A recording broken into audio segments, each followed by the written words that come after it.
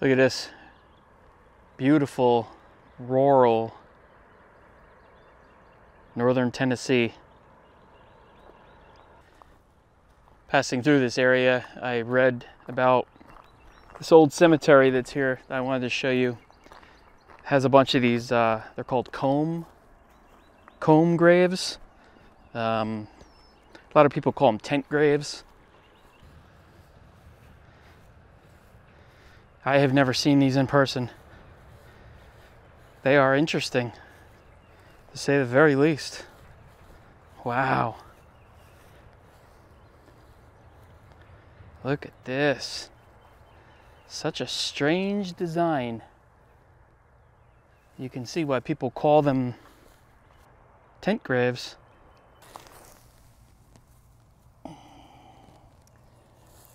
Put this.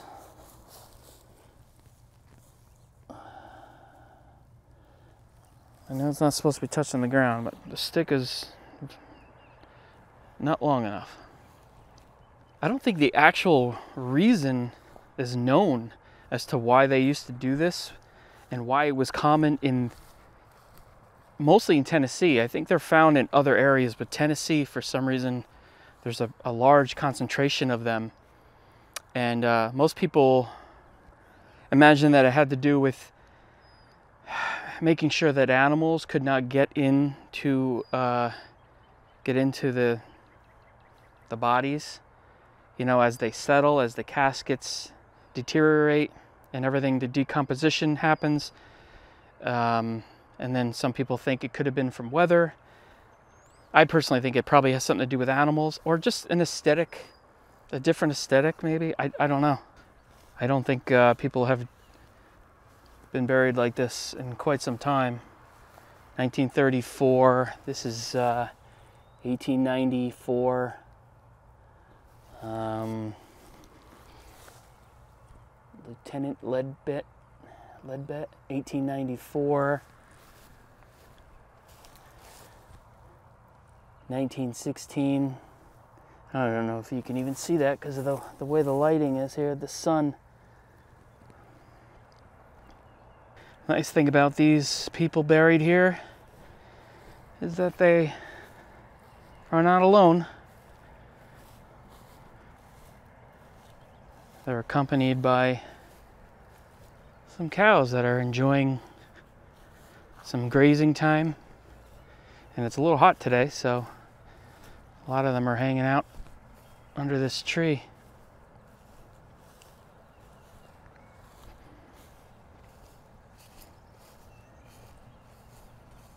Nope, he doesn't like me. I thought it'd be a friendly cow. Nope. Look at this one.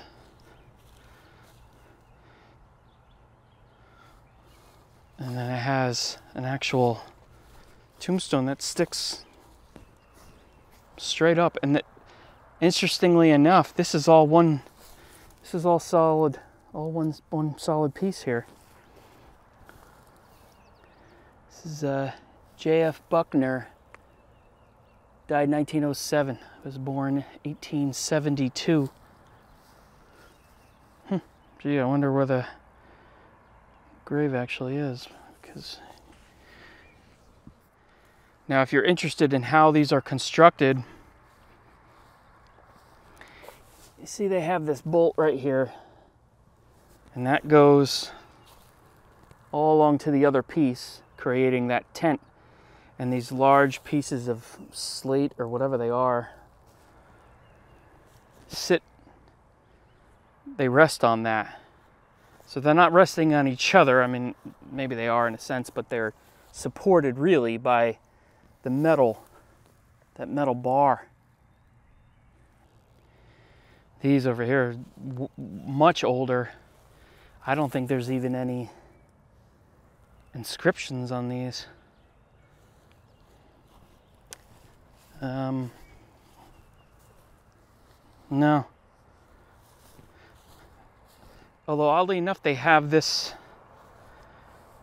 This might maybe the family at some point made a new, a new flat marker, and put it in front of this. Elizabeth Bowman Uh, they didn't even know when she was born. Wow. And died March 5th, 1847. Wife of Josiah Bowman. Parents of 12 children. Josiah donated the land for the Shiloh Cemetery. She was the first person to be buried in this cemetery. So I guess this is called the Shiloh Cemetery. It was my understanding that this was called the Cub Cemetery, C U B. Okay, for some reason they're not buried next to each other, but this is Josiah Bowman. He died December 1st, 1864.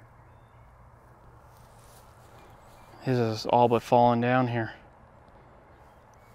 So they're buried uh, maybe 15 feet apart. She's over here.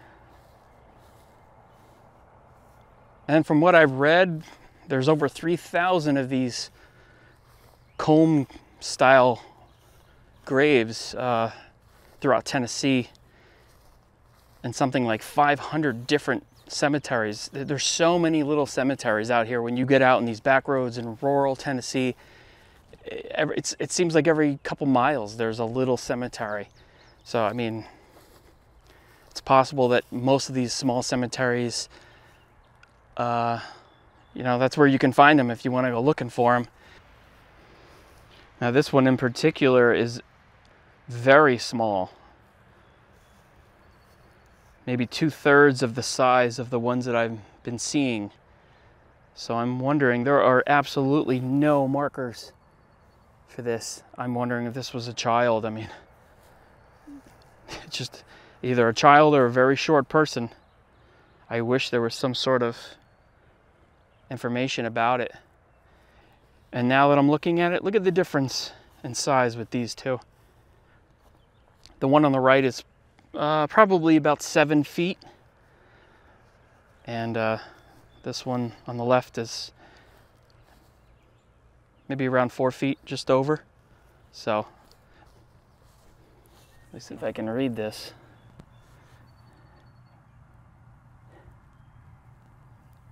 Can't. Um, May 2nd, I guess that said 8, 18, I don't know. I can't read it, but it died 1900. I don't know. Sometimes you can read it better on the screen. Here's another cemetery just down the road, three or eh, maybe four or five miles down the road.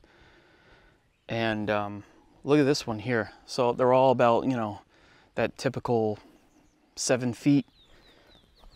Again, here's another really small one though. Uh, look at this. It just says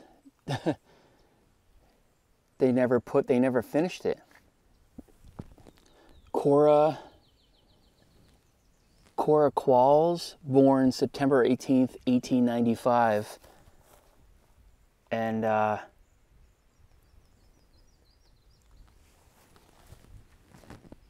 doesn't say when when she died. Strange. Look at this one. This one's probably the smallest one I've seen. This is only about three feet. Uh, again, nothing, no markers, unfortunately. There's nothing on this one. That's a shame. But that dead tree in the middle really gives it a uh, bit of an ominous feel here. This person only just one year old, 75 to 1876. A lot of kids. Look at this. Look at these are all kids, all children. Wow, there's a ton of them. This one right here, I can't even, let me see if I can read this. 1870, 1870, less than a year old, this one. So many children.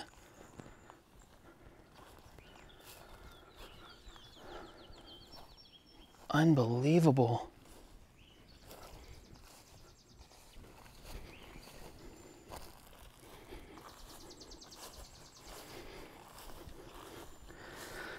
Wish, I really wish these had some sort of information, but from what I read, it's quite common that they don't. Look at these, more of these um, very strange, uh, I don't know what you would even call these things.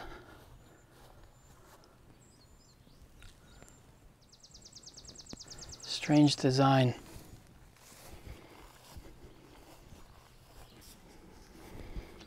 What would you call these? Uh, like a, a crypt or a. It's not, you know, I don't know. Not really sure. This one's very legible for being so old. Delilah Ledford Looper, 1790, died at 1873. Says wife above it, and this one says husband. Magnus Lee Looper, died 1859. All right, well, that's just a small sample of the what could be as much as 3,500 different comb graves, the, the old tent graves throughout Tennessee. Very interesting. I'm going to continue on going down these back roads and see what I can find. Beautiful area here and amazing history. See you in the next video.